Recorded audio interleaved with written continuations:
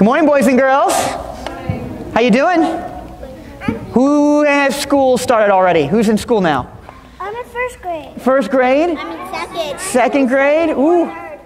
So, what are you doing in class today or the other day?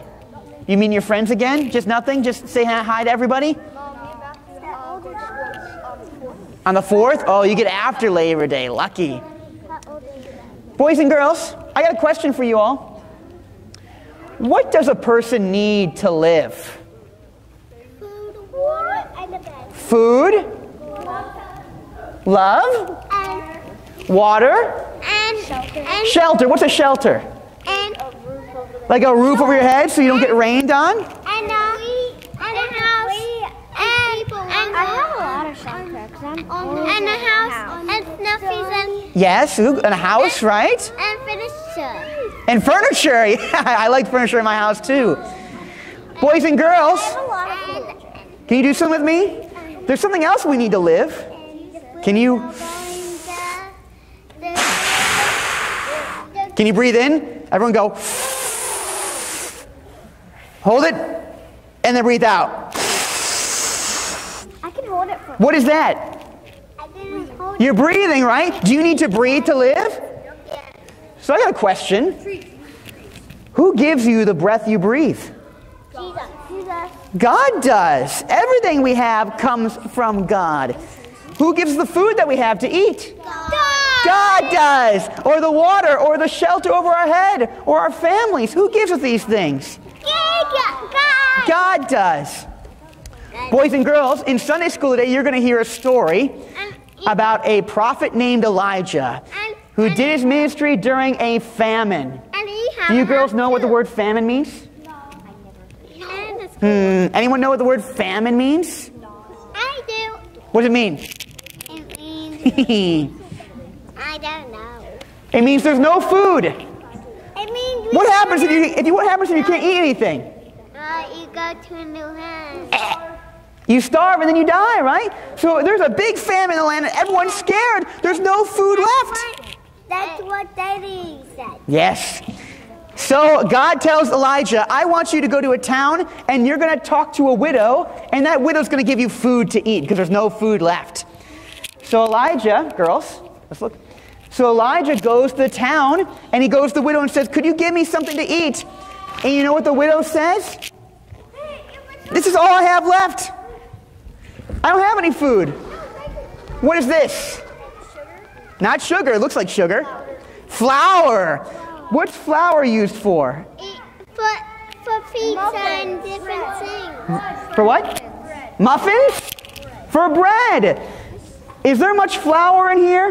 No. There has to be a lot of flour. There's got to be a lot of flour. Do you think this could feed many people? No. No. The widow said, This is all I have left to eat. I don't have enough to give you food. But Elijah said, Trust in God. Because does God give people food? Yeah. Yes. Trust in God. So go and make bread for me and your family. So that's what the widow does. She uses the rest of this flour. Boys and girls, let's listen. She uses the rest of this flour, and then she gives Elijah the food, and all the flour's gone, right? Well, she looks back at the jar, and you know what she sees? The flour's back. What happened? Yeah, huh? And run away from. And so the widow, she makes more bread. Oh, this is the last day. This is definitely going to run out this time. So she takes the flour and she puts it in the oven and she makes bread. And after she makes the bed, bread, she looks at the, the jar again. And what does she see? Yogurt. The, the, the flour's still there. Isn't that impossible? Because like it's going in, Ooh. just reforming in there. It sounds impossible, right? It's like duplicating. What could be happening here? I have no idea. Hmm, who could be making flour enter the jar? Daddy. God, our dad, right? God, our father. And so, does God give the widow food? Yes. Does God give Elijah food? Yes. yes. Will God gives us everything we need too. Because what the story tells us, does God provide us for food? Does God give us house and home? Alan, does that God give you family and friends? God gives us everything we need because He's our Father and He loves us. Amen? An idea at that Yeah. one time. All right, boys and girls, we're going to pray. Do you remember how we pray? Before we do that, Isabel, we're going to fold our hands and bow our heads, and you repeat after me Dear Jesus, thank you for loving us. Thank you for caring for us. Help us to remember that we have a good Father who provides for us and gives us everything we need. In Jesus' name, amen. And boys and girls, how do we end? In the name of the Father, and the Son, and the Holy Spirit. Amen. Please walk. We're going to.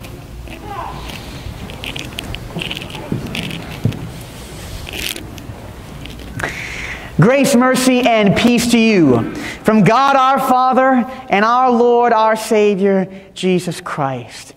Amen. If you are familiar with the Bible, then you know that the Apostle Paul is so very important in our church's history. You know that half of our New Testament was written by the Apostle Paul. There's a good chance that when you walk through these doors, you are going to be hearing or reading words from Paul's pen over 2,000 years after they were written. God's word to us through Paul. And if you're familiar with the Bible, you know that Paul's ministry was not all fun and games and fame and fortune. Actually, quite the opposite.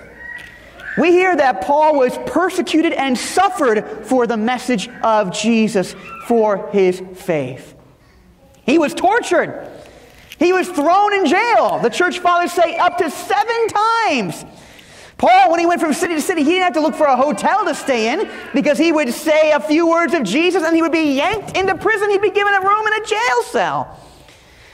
In fact, one crazy story I don't know if you know this one. In the Bible, we hear that Paul, he's preaching and teaching the word of Jesus to anyone who would hear the words of eternal life. And the Jewish leaders wanted nothing to do with him, rejected him. Heresy, they say, and the punishment for heresy is death. So they rile up the crowds and they drag him by the robes and throw him outside the city. And they pick up stones and they throw stones at him until he's not moving anymore. And they tire themselves out and look at him, and his body is motionless. All right, he's dead. Good job, everyone. Let's go have dinner. And then some time passes, and Paul's followers, they go to get his body, probably to bury it. But God wasn't done with Paul yet. As soon as they get close, what happens? Paul jumps up. Well, I'm still alive. And he goes right back in the city to continue preaching the news of Jesus. Whoa! Even through all this persecution, Paul still had a mission given by God. And it's because God protected Paul that day that we have what we heard today, this morning in Ephesians. We have the letters of God to us. God chose Paul so that we might hear this very, very important word. So let's go through it again. If you want to open it, we're going to go through Ephesians, our epistle lesson. And I give you that prologue about the suffering at the hands of men towards Paul for this reason. You would think Paul, with his, his experience of persecution, would tell Christians, hey, watch out. If you talk about Jesus, they're going to stone you. If you talk about Jesus, you're going to lose your reputation. They're going to mock you, reject you. But that's not what Paul writes. That third line there of our uh, epistle lesson.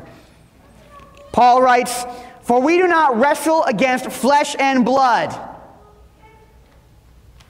In other words, our enemy is not those who throw stones at us. We don't need to fear man at all. What? How on earth could that possibly be? Well, you've been paying attention to my sermons the last few months. You know that you have been given something that no one, not one person, can take away from you. No harsh stone, no threat of death, no word of mockery can take what you have been given away from you by Jesus. And what is that? But faith which leads to everlasting life. Scott, can any man take that away from you? The faith you've been given? Not a chance. And so Paul says, Fear not people who stone you or mock you or reject you. Rather, he goes on, maybe there is someone we should watch out for. He goes, rather against the rulers, against the authorities, against the cosmic powers over this present darkness, against the spiritual forces of evil in the heavenly places. Paul says, Fear not man who can only kill you, but you got ever, everlasting life in store. Rather, watch out for the one who knows what you have. Watch out for the devil who would like nothing more than for you to give up that faith you have been given. Satan would love to give you all the comforts of this world so that you give up faith in Jesus. Anything. He gives you permission to live however you would like so that you reject Jesus. Is this not how Satan tempted Jesus in the wilderness? Do you remember this story? Satan put him on a tall mountain, a tall tower. I will give you all the world, all the comfort, all the power and authority. Just bow down and worship me, Jesus. Give up your place in heaven. Well, Jesus, he's God, could easily skirt by that temptation. But does the devil tempt us with the things of the world? This is what Jesus says in our gospel. Listen, watch out for these things. Things that come out of the heart of man. Things that maybe feel really good to have, but are nonetheless evil. Evil thoughts, sexual immorality, theft, murder, adultery, coveting, wickedness, deceit, sensuality, envy, slander, pride, foolishness. Satan would love for you to have these things. Take whatever you want. Just leave that little, little, little thing that doesn't really matter, uh, your faith in Jesus with me. Should we watch out against the temptation for the world to do this? Paul says, yes. So, how do we do this? We put on the armor of God.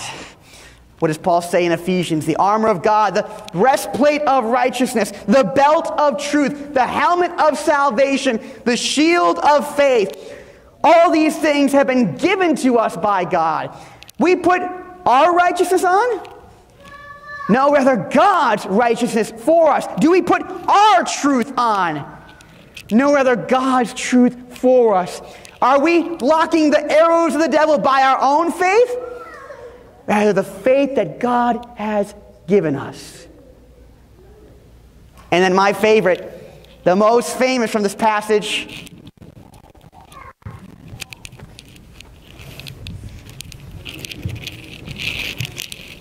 the sword of the Spirit, which is the Word of God. The armor of God, what is armor for? To protect you, right? It's defensive. But we might feel tired of being defensive all the time. And when are we going to get a chance to fight back against the world, fight back against evil and Satan? So maybe, oh, God gives us a sword, the sword of the Spirit to fight back. Maybe that's the way we can have our offensive. Well, maybe not. Back when I was in seminary, I had a friend. Uh, I would classify him as a sword guy. You know, guys like this. Marshall, do you have any friends that like they'll collect daggers or something and like put it on their wall? No, you don't. I, I, he's a sword guy, right? He would love to research about Roman gear and equipment and, and weaponry. And he would tell me all the time, Peter, Peter, Peter, Paul, when he was talking about swords, he was imagining the Roman guard at the time. And the Roman guards, they had swords about this long. Would you classify this as a very long sword? Not really, just an arm's length, right? You, not a lot of reach in, in combat. So rather, this sword that the Roman guard would often be equipped with would be primarily for defense. When someone came at you, it would be a defensive weapon. If the Roman guard went to war, they would often take things like long spears. This was once a shepherd's crook, and I broke it, so now I'm using it as a, as a spear. long spear. Compare this to the sword I just held up. Uh, maybe triple, quadruple the length, more for offensive. Or as a javelin, you grab it and you, and you throw it. Uh, from a distance. Or sometimes the Roman guard would have bows to shoot flaming arrows from far away. Does Paul give us a bow in this analogy? Who gets the bow in the, the, letter to the Ephesians? Satan is the one shooting at us. He is the one attacking us. Rather, the weaponry we get, the armor we get, is all for defense. We live in such an evil, broken world. And it can be tempting to think, we need to stand up and fix the world. It's our job. Remember, the war we see is not ours, it's God's. And by the blood of Jesus, God will be victorious over the devil once and for all. So we need not fear persecution. Rather, our role in this war is solely defensive, solely putting on the armor of God that we might be, be protected by God's love, that we may endure. So let me close with this. How does this all apply to us? What does this mean for our lives? It means, brothers and sisters, if we are in the middle of a war, God's war, which He will be victorious, and God has given us armor to protect us, and a shield of faith to block the flaming darts of the devil, don't drop your shield. How crazy would it be to be taking off armor in the middle of a war, or taking off your shoes in the middle of a marathon?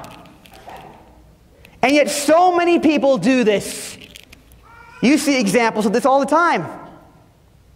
You come to church, it's a little bit hard to come to church the next week, so you skip a week.